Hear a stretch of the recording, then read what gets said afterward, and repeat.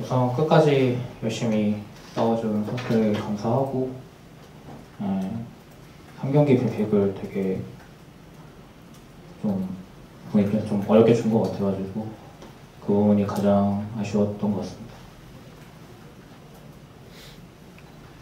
음, 사실 3세트 같은 경우에는 좀 말하기 힘든 편인 것 같고요.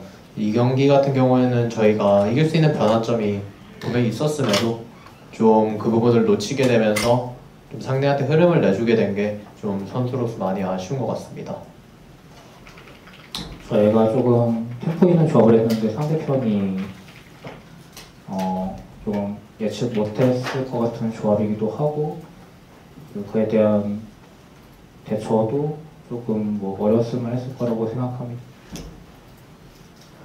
어, 일단 다른 거보다는 오늘 같은 경우는 이제 선수들에게 좀 더 코칭 스태프의 의견과 선수의 의견에서 어, 조금은 더 선수의 의견을 의견을 조금은 뭐라고 되지 반영한 그런 쪽의 걸로 우리가 맞대 보자라고 제가 경기 시작하기 전에 원래 얘기를 하고 있었는데 그 부분에서 마지막 경기에서 제가 한 말을 못 지킨 것도 그 부분이 되게 많이 부끄럽고요.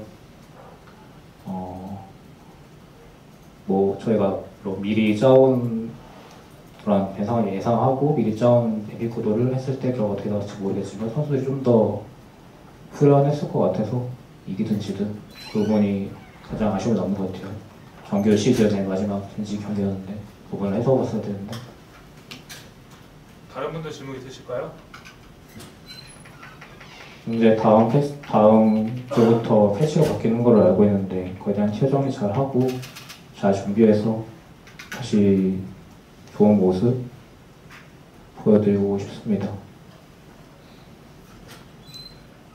음, 저도 오늘 패배로 인해서 저희가 좀 더 발전했으리라 믿고요. 그리고 다음 경기에 그것을 더 잘 반영해서 좋은 흐름 다시 이어나가고 싶은 마음입니다.